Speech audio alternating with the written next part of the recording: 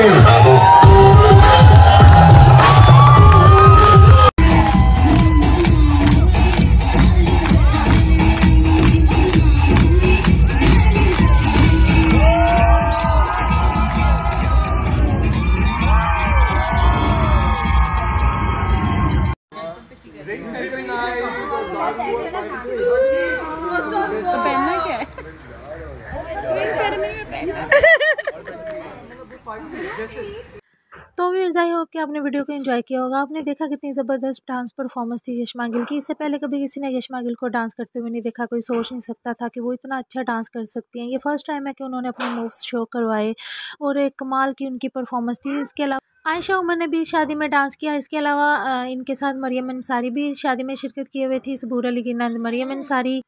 और उसके अलावा भी पाकिस्तानी इंडस्ट्री से काफ़ी ज़्यादा नामवर मॉडल्स भी शादी में शिरकत के लिए आई हुई थी। तो काफ़ी दिन से इनकी डांस परफॉर्मेंसेज जारी थी। सोशल मीडिया पे ये लोग वीडियोस और पिक्चर्स शेयर करते रहते थे। व्यूवर्स इसी तरह की तमाम सोशल अपडेट्स के लिए मेरे चैनल को सब्सक्राइब ज़रूर कीजिएगा और इस वीडियो को भी लाइक कीजिएगा। Thank you